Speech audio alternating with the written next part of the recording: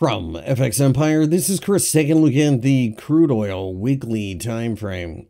The WTI crude oil market has initially pulled back just a bit during the trading week, only to turn around and show signs of life.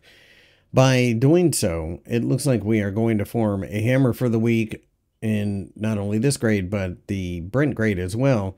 And it suggests that we are going to continue to see the 200 week EMA offer uh, a little bit of a magnet for price. The $75 level above is an area that I think continues to cause some headaches. But if we can get above there, then we can start to look towards the 50 week EMA. Otherwise, we'll just continue this base building process where we buy the dips.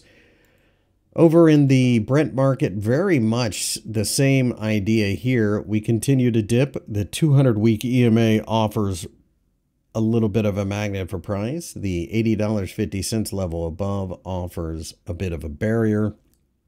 If we can clear that, then the 50 week EMA will be targeted buying on the dip, I think, is going to be continue to be the story for trading oil. There are a lot of moving pieces, but look at how far oil has pulled back from the highs. I think it makes sense that value hunters continue to return to this market going forward.